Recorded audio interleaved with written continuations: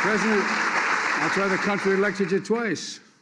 That's why you'll be considered one of the most consequential presidents in our history, along with one of the most consequential first ladies. You know, uh, Michelle, he knows, we all know, he couldn't have done it without you.